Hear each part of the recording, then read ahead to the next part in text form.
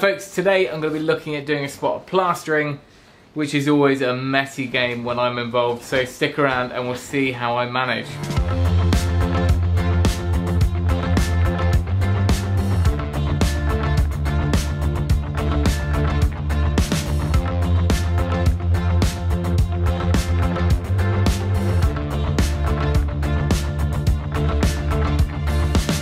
Last week we saw the main room and the utility area all skimmed out, but there was no time in the day, nor had I allowed for this room to get plastered. Unfortunately, if I'd thought about it, I could have probably got both done in one hit. It would have cost a bit more, but um, rather than pay for another half day to come in and do the, the one or two sets needed for this room, I'm gonna tackle it myself. There's no natural light in this room, which is always a plus point when it comes to plastering uh, because really as soon as you've got decent lighting, natural light especially, then it really does pick up on the imperfections. But we, I've done the en-suites and things like that in the house and I can, I'm fairly confident we can manage.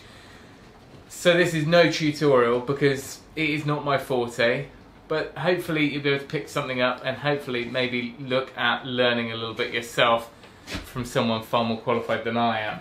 Dare say there's going to be a little bit of uh, cleaning up to do from the last plastering I did, which was a good while ago. But usually I get away using the SDS drill with this mixer uh, and just an SDS chuck on there. First things first, I need to look at wrapping up this boiler a bit. So all of this area is going to be completely concealed within a cupboard but I know that uh, I kind of, so probably what, what I'll do is skim the exposed area and kind of feather it in to the bit that's going to be completely hidden.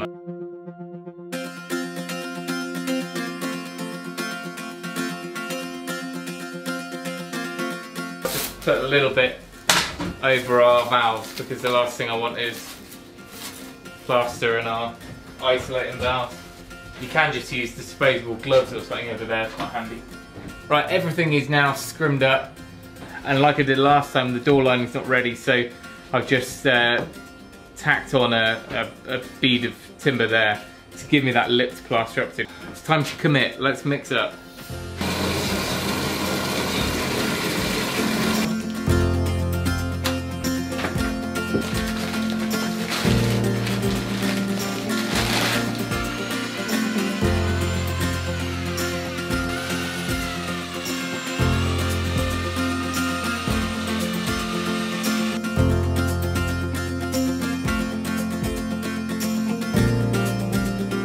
Here goes nothing. Probably end up with more of it on my head than anything else.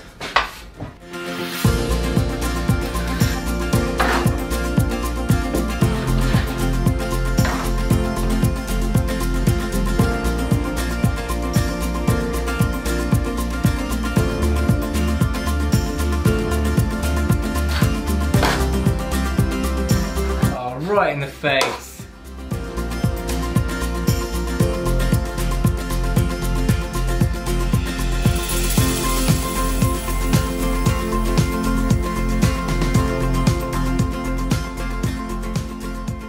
I was going to do just the ceiling in the first set, but I think I've got a bit too much mixed up. Uh, so I'm going to do that back wall, shouldn't matter too much because it's all concealed. Otherwise it's quite good to do alternate walls so you're not troweling in against a wet wall. But if I do that one, I've done the little section there, do that one in the ceiling, finish those, and then I'll do the opposite walls.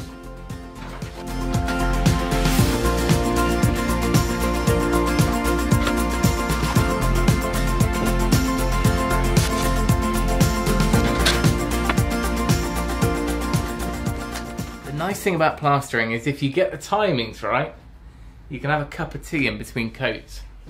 Not too much plaster on me yet. So I've had a good clean out ready for the second coat. I need to make sure that's kind of touch dry. So the first coat really, you don't want to be too pretty about it as long as it's flat and it's on. Uh, and like I said, I've done uh, two walls and the ceiling. The walls being quite minor ones that are going to be hidden anyway. So um, that means I can do the second coat on those, get all that floated off, and then it'll be hard for me to trowel up to on the second two. As with all plastering, keeping things clean and organised is key. So I've had a good wash up between coats. And the second coat I'll make a little bit thin, thinner, I guess, looser. Um, just so we can get an even smoother trowel on there. Uh, but again, we're not looking for it to be smooth at this point, so that's why it looks a little bit Artexy. So you may be asking, why on earth didn't I leave this room to the pros? And I've mentioned that I, you know, on a budget level, it's saving some money, but actually it all stems from what happened last night. I was out with some friends from church and and we are talking about what we've been up to that week, and uh, and Matt said to me, he said, you know, what, what we've been up to on the house, and I said I had a plaster in skimming the walls. To which the look of disgust he gave me that I'd had someone else in, because he's so used to seeing me doing everything, um, was enough to urge me to give it a go today and prove to myself that I could manage. Not that it will be anywhere near as good as what's been done in the other room. But there's always a chance I can pull it off.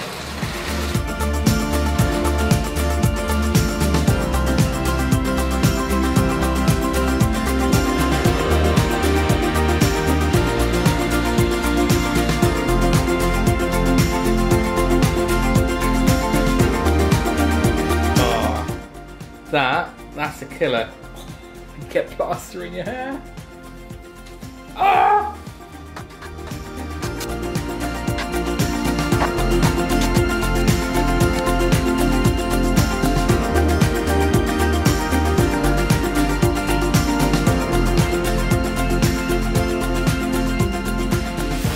As I'm waiting for that to just firm up a little bit more, um, I thought I'd talk a little bit about DIY versus trade.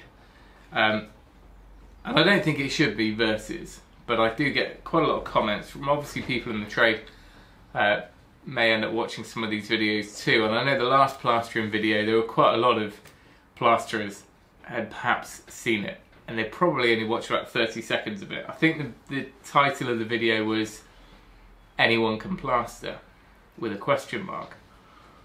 And sure enough, you know, I, I started off and I was kind of troweling on and, and then later in the video I'm talking through and I'm saying anyone can do it, anyone can have a go at it, and you'll be able to get to a certain level. But you're never going to be quite as happy as you would be if you've got it done properly. Likewise, if you've got really tall ceilings, big expanses of wall, lots of natural light, there are so many issues there that you're just gonna you're gonna either take far too long on it or you're just not gonna be happy and you're gonna be better off getting a plasterer in but that doesn't mean you can't give it a go. And for smaller sections, you know, a little bedroom wall or some repair work or a little uh, wardrobe or an ensuite, you can't, you know, worst comes to worst, you can get it skimmed over. And if you, providing you've got the basic tools anyway, what's a bag of plaster? Fiver? Six quid? Well, actually, you know, you could be £12 down at the end of a, a day's attempt and it's still not the end of the world if you had to get someone in. So don't be put off trying it. But from what I've learned, having been through 12, 14 rooms of renovation, it's the one thing, or one of the things I will quite happily hand over to, uh, to someone else. You can do all the prep work, you can do all the plastering, uh, the plasterboarding, you can scrim it all and do as much as you can um, and then you know get them to come in and do that. And it's a one transformation. For me, it's like a little bit of a treat. They come in, I'll be either working alongside them or I'll be in the house doing something else, and and you can go in there after they left, and and it's like a little push. And if you're slogging away DIY like we do, every little kind of boost like that really counts. So if you're a professional plasterer, yes, you're better than us and, I, and it should be left to you guys most of the time. But don't knock people having a go.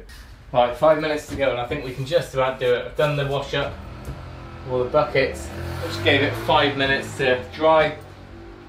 Enough for me to do a final trowel. which will be good enough.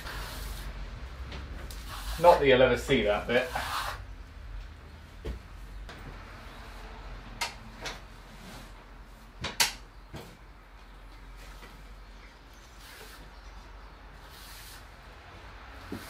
Right, I'm, I'm kind of uh, getting to the end of the first set that I've done, and that's the only set I'm going to get done today because I just had the call that it's ballet lessons in 10 minutes, so I'm going to have to really uh, put my foot down to get this done because plastering is one of those things that you can't just drop halfway through and come back to.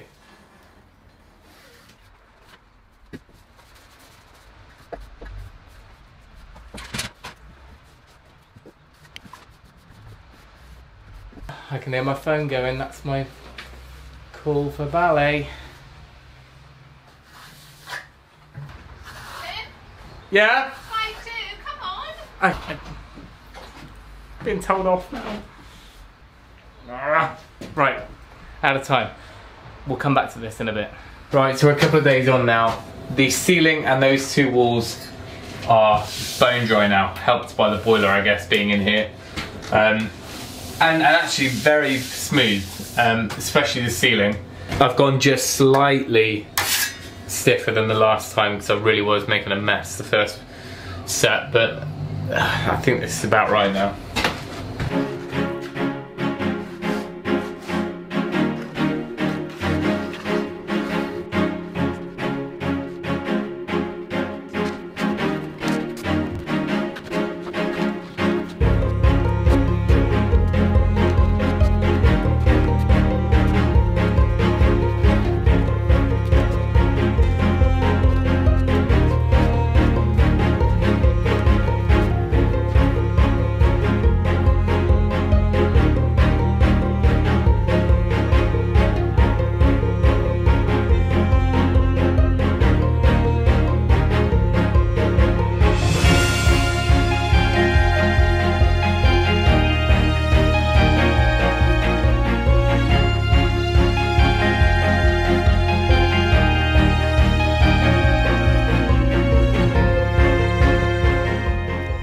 Do you know what, guys? After having a look at it today, ready for painting, I'm pretty impressed. I think we just about pulled it off.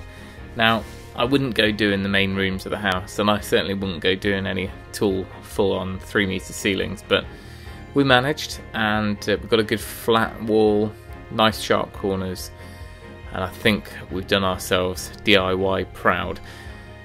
On to the decorating.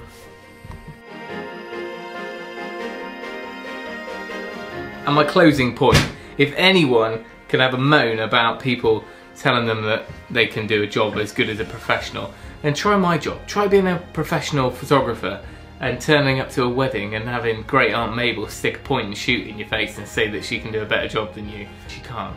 Great Aunt Mabel. Rubbish.